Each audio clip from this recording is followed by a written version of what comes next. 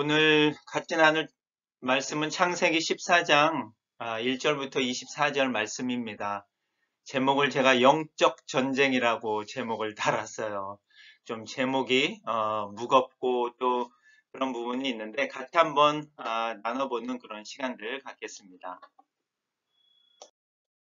오늘 본문 말씀이 이제 뭐 1절부터 24절인데 그 부분을 제가 아, 몇 구절만 좀 담아왔습니다. 1절부터 24절 중에 아, 다섯 구절을 담아봤는데 제가 한번 읽어드리겠습니다.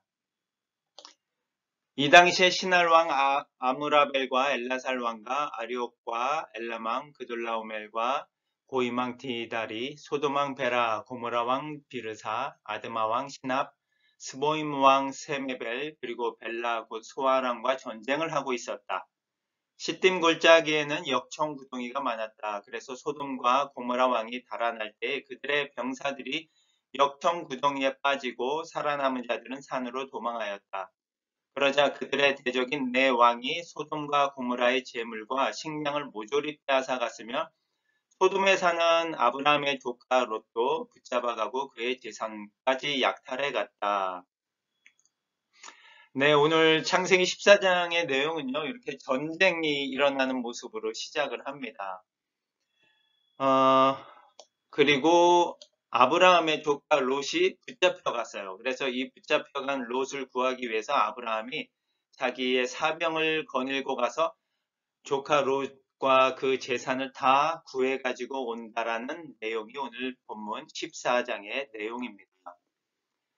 그런데 어, 어떻게 보면은 좀 그냥 그런 내용인 것 같고 약간 어떻게 저희에게 적용하거나 아니면 어 그렇게 깊게 와닿지 않는 그런 내용인 것 같기도 해요. 오늘 본문의 내용이. 그런데 전쟁 이야기가 갑자기 나오는 거거든요. 아브라함이 잘 살고 있었는데 왜 전쟁 이야기가 나왔을까? 13장은 저희가 지난번에 살펴본 대로 아브라함하고 롯의 갈등의 관계가 나오는 내용이 있어요. 목초지가 부족해가지고 목자들이 서로 싸우고 있었거든요. 그런 갈등의 어, 이야기가 나온 뒤에 14장에서는 이제 소돔 왕을 공격하고 하는 그런 전쟁 이야기가 나와요. 그래서 어, 왜 전쟁 이야기가 이제 나올까? 이 전쟁 이야기가 우리에게 어떤 어, 또 의미가 되고 교훈을 줄 주는가라는 그런 생각들을 한번 해봅니다. 왜 전쟁 이야기가 나왔을까요? 라고 한번 생각해 보시고 한번 어, 우리가 이 말씀을 나눠보면 좋을 것 같은데 지금 13장하고 14장 사이에 어떤 내용들이 있었냐면 13장에서는 아브라함이 어디에 지금 거주하고 있냐면 베델과 아이라고 하는 그 두 지역 사이에 머물고 있어요. 근데 우리가 성경의 말씀들을 이렇게 읽을 때 특히 구약의 말씀들 같은 경우 어떻게 보면 우리하고는 너무나도 동떨어진 옛날 이야기 같은 느낌들이 많이 있거든요. 그거를 그냥 어, 아브라함의 어, 생활이 또 아브라함의 삶에 아브라함에게 이런 이야기가 있었네 하고 옛날 이야기를 듣듯이 읽으면 뭐 그냥 거기까지인 건데 하나님이 이 말씀을 우리에게 주셨을 때는 구약의 말씀뿐만이 아니라 신약의 말씀 전체를 통해서 하나님이 하시고자 하시는 말씀이 있는 것이고 그 안에는 어떻게 우리의 구원을 이루어 가시고 그 구원을 이루기 위해서 예수님이 어떻게 오실지 그리고 그 예수님이 오셔서 다루시는 하나님의 나라에 대한 내용들이 이 성경 안에 다 담겨져 있는 거거든요. 그래서 우리가 하나님의 나라에 대한 그런 생각들을 갖고 어, 성경에 나와 있는 특히 구약의 내용들을 우리가 그 어, 이해를 하기 위해서 봐야 되는 거거든요. 그래서 문자적인 의미에만 우리가 보면은 안 되고 그 문자 이면에 어떠한 영적인 내용으로 하나님이 우리에게 전해 주시는가에 대한 생각을 갖고 우리가 아, 구약의 내용들을 좀 다가가야 되는 거거든요. 그래서 오늘 이 베델과 아이 사이라는 것이 어떻게 우리가 영적으로 적용을 해보면 사실 좀 깊고 도전적인 의미들이 있는 거거든요. 지난번에도 나눴지만 베델은 하나님의 집이라는 뜻이고 아이는 폐허가 된 곳이라는 뜻인 거거든요. 어떻게 말하면 베델은 하나님의 나라를 나타내고 있고 I는 세상이라는 부분을 나타내고 있어서 이 아브라함이 마치 하나님의 나라와 세상 그 사이에서 어, 치열한 영적인 싸움과 갈등과 그런 어, 고난 가운데 있는 모습을 보여주고 있는 게 지금 우리에게 전해주는 영적인 모습인 거거든요. 그럼 어, 세상과 하나님 나라 사이에 있는 이 아브라함이 지금 어, 세상과의 갈등의 구조가 13장에서는 나타나 있었던 거고 그 다음 14장에서는 이제 어떻게 보면 좀 더 더 커진 의미로 하나님 나라와 세상 사이에서 영적인 전쟁의 의미들이 14장 안에는 좀 담겨져 있는 거예요. 그래서 그런 의미에서 하나님께서 이 14장의 내용 가운데 전쟁이라는 의미, 어, 내용을 통해서 우리에게 영적인 전쟁은 어떤 것이고 어떻게 우리가 이 세상과 하나님 나라 사이에서 살아야 하는지를 좀 가르쳐 주고 있는 거거든요. 13장의 내용을 잠깐 보면 13장 18절에 보면 아브라함이 이제 롯하고 이제 동서로 나눠서 이제 갈라서기를 합니다. 그래서 롯은 어, 요단강 유역에 물이 많은 곳을 택해서 가버리고 어, 아브라함은 그 옮기고 옮겨서 헤브론이라는 곳에 천막을 치고 그곳에 정착을 하게 되는데 이 헤브론이라는 말의 뜻이 연합 또는 동맹이라는 뜻을 갖고 있습니다. 그래서 어떻게 보면은 하나님과 연합된 삶을 살기 시작하는 아브라함의 그 모습을 이제 우리가 볼 수 있다라는 그런 의미를 좀 담고 있어요. 그래서 14절과 15절, 16절에 보면은 하나님께서 아브라함에게 어, 너는 내가 있는 곳에서 동서남북을 다 바라봐라. 보이는 땅을 너와 내 자손에게 주겠다. 그리고 내 후손을 땅에 티끌처럼 많게 하겠다라고 두 가지 약속을 하시는 거거든요. 땅에 대한 약속과 후손에 대한 약속을 하죠. 그래서 일차적인 의미로는 아 하나님이 이 가나안 땅을 아브라함에게 주시는구나라는 그런 생각을 우리가 할 수 있고 아 그리고 가나 아브라함의 후손들이 많아질 것이다 라고 우리가 문자적인 의미를 우리가 또 볼 수 있는 거죠. 근데 그 속에 담고 있는 영적인 의미를 보면 이 땅이라고 하는 것은 하나님의 나라인 거거든요. 아브라함에게 땅을 주듯이 이 땅에 지금 치열하게 우리가 살고 있는 우리에게 하나님께서도 하나님의 나라를 어, 우리에게 어, 유산으로 주시겠다라는 그런 의미를 담고 있, 있는 것이고 또 이 후손이라고 하는 것은 영적인 후손인 거죠. 하나님 나라의 백성들이 어, 영적으로 늘어날 것이다라고 하는 그런 약속을 아브라함한테 주면서 그 약속이 우리에게까지 전해지는 거거든요. 그래서 이런 아브라함을 통해서 하나님이 우리에게 전해주시는 영적인 의미가 뭔지를 이렇게 우리가 잘 어, 캐치하면서 오늘의 본문의 말씀들을 잘 보면 좋을 것. 아브라함의 모습을 보면 사실 아브라함이 가난이라는 땅에 이제 들어가는데 아브라함은 가난 사람이 아니고 히브리 사람인 거거든요. 나그네요 또 외국인의 모습으로 지금 이 땅에 들어와서 가나안 땅에서 하나님이 주시려고 하는 그 약속의 땅에 대한 소망을 갖고 지금 살아가고 있는데 그 모습이 마치 어, 이 세상에 세상에 속하지 않은 하나님 나라의 백성인 우리들이 외국인처럼 나그네처럼 이 땅에 살아가고 있고 하나님 나라에 대한 소망을 갖고 살아가고 있는 모습이랑 어, 서로 비교가 되는 거거든요. 그래서 그런 모습 속에서 아브라함을 통해서 우리의 모습을 우리가 좀 어, 찾아봐야 되는 거고 아브라함이 그렇게 치열한 갈등과 전쟁 가운데 살아가고 있는 모습 속에서 우리도 이 세상에서 치열하게 세상과 하나님 나라의 백성으로서의 그 속에서 갈등과 또 영적인 전쟁 가운데 우리가 살아가고 있다는 모습을 우리의 정체성을 우리가 좀 잘 깨닫고 살아가면 좋을 것 같습니다.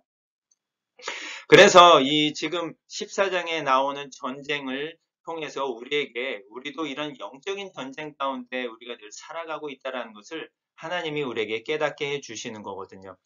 신할 왕과 엘라살 왕과 엘라망, 고이망 이 네 나라의 왕들이 이 다른 다섯 나라의 왕을 쳐들어가서 전쟁을 하는 그런 모습을 통해서 아, 우리가 사는 이 땅에서의 삶이 마치 이런 전쟁처럼 우리가 치열하게 살아가야지 그래야지만 우리의 하나님 나라의 백성이라는 그 타이틀과 그 정체성을 갖고 우리가 이 세상에서 승리하면서 살아갈 수 있겠구나라는 그 생각을 어, 우리가 갖고 살면 좋을 것 같습니다.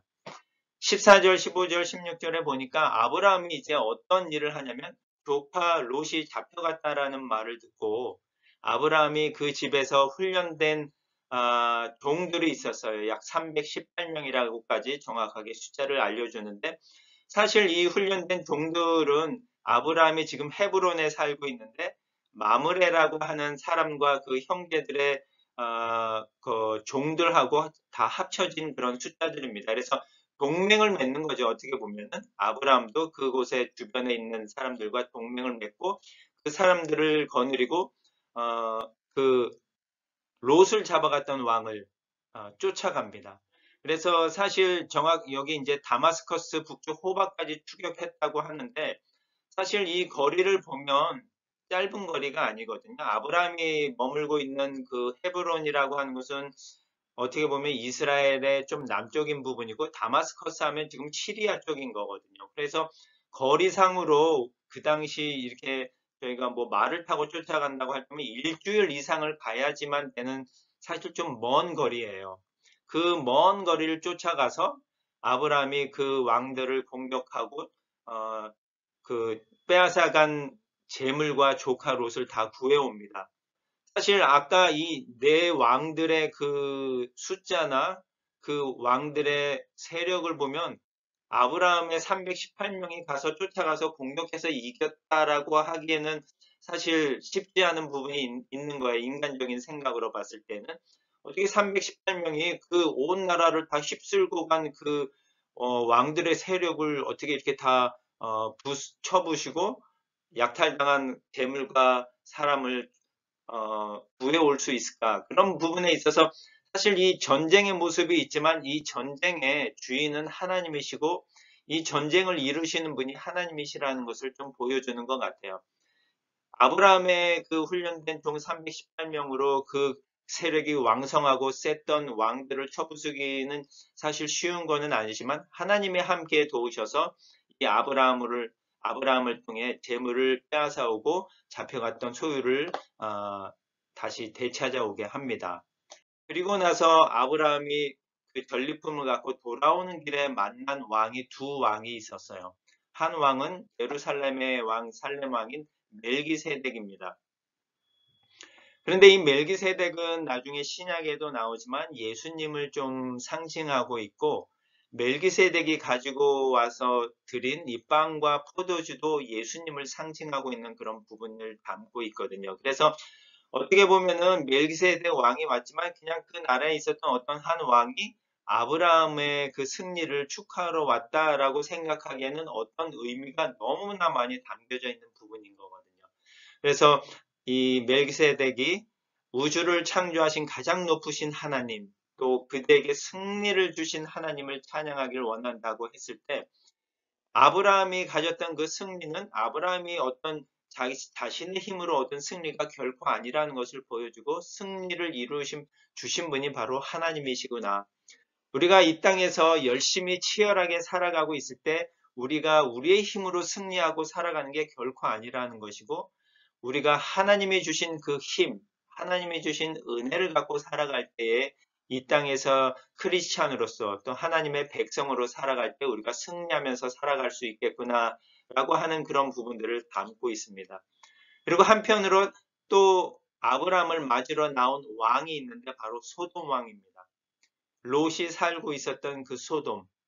이 소돔은 세상을 나타내는 거라고 우리가 볼 수 있어요. 물론 이제 다음에 몇 장 뒤에 보면 소돔과 고모라가 완전히 명, 어, 하나님이 불로 멸하는 그런 사건을 볼 수 있는데 이 소돔이 세상이 그렇게 악하고 세상이 어떤지를 이 소돔이 보여주고 있는 거거든요.